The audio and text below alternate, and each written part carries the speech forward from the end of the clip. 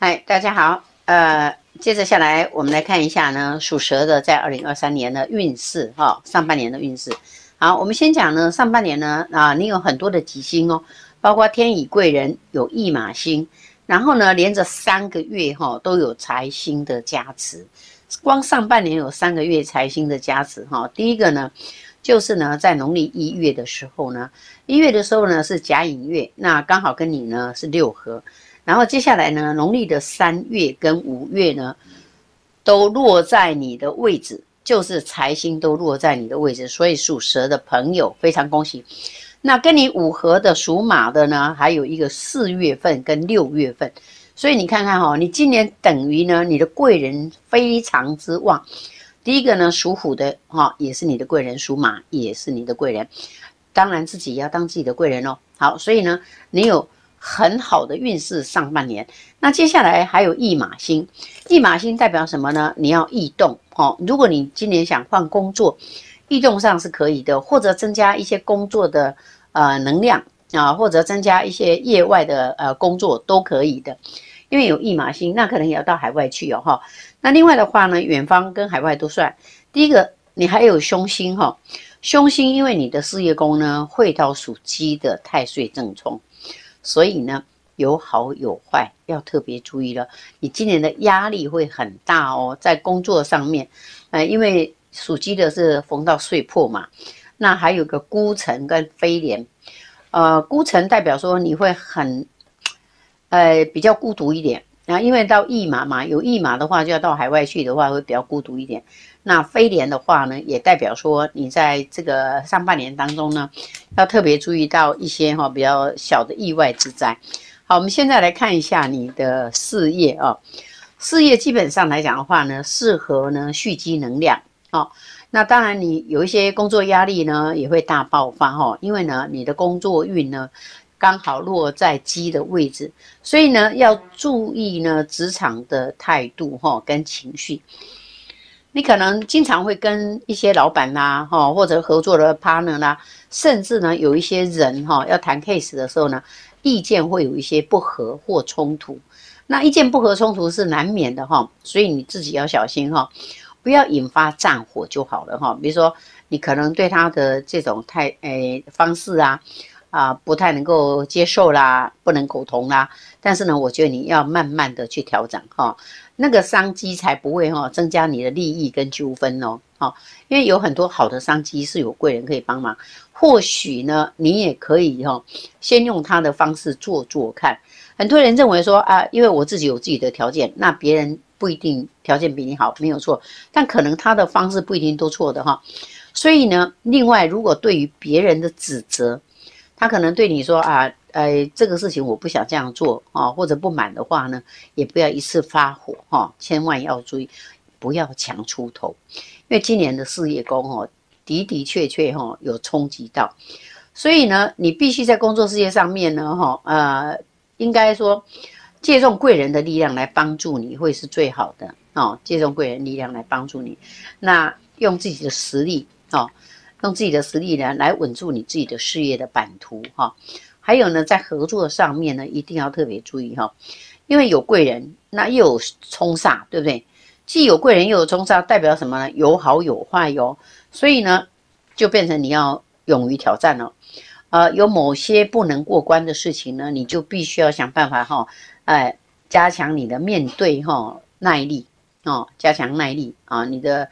不要有恐惧心态哈，不要恐惧。那如果你要征战海外哈，跨界合作的话呢，都要小心的应对哈，以免哈出大出啊不哈，要特别注意哈。那当然在国外的话呢，也可能会有一些麻烦哦。这些麻烦哈，你你我们都知道这个世界变化多端嘛，尤其在二零二三年哈，是八白更运最后一年，所以我还是要好好的来建议你哈，这段时间呢。呃，可以碰到很好的合作伙伴，还有很多的贵人。那自己要哈靠呢自己的才华来挹注哈你在事业上面的这个成功，而不是呢专呃就是一直都靠着别人哈。职场上呢要有新的改变跟觉醒。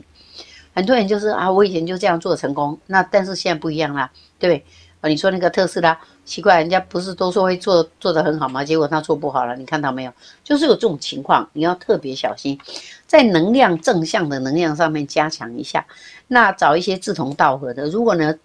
这个哈，职场上面很奇怪，能量不对的人跟你合作，一定会出很多的 trouble，而且会有可能引发官司，所以你要特别小心哈。需要踩刹车的时候就该踩刹车。你觉得不太对的这个人呢，可能私心很重，或者呢，觉得他对你呢不是很忠诚，啊，或者呢，他只想呢要你的客户群，这些都是要特别小心的。你可能会碰到这样的对象，或者呢，他表面功夫跟你做的很好，但内心一肚子坏水，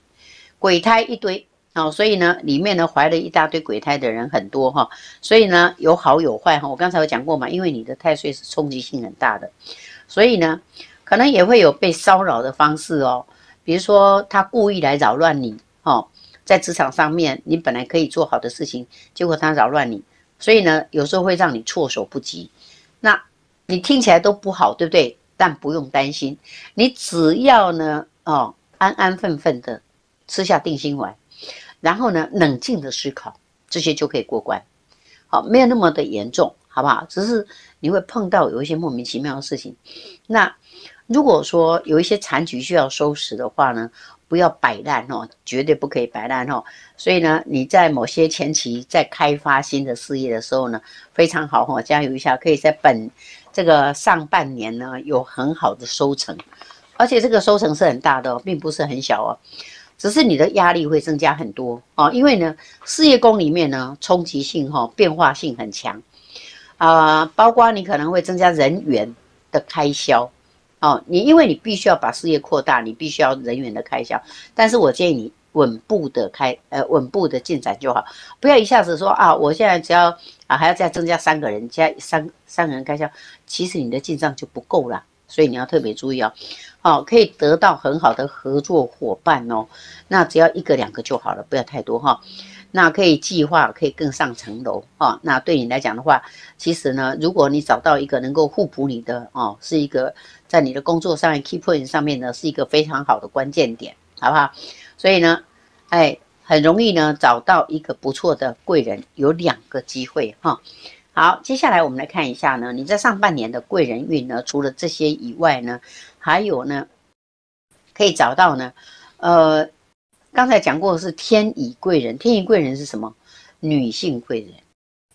女性贵人包括什么呢？比如说你的家长、你的长辈都是女性，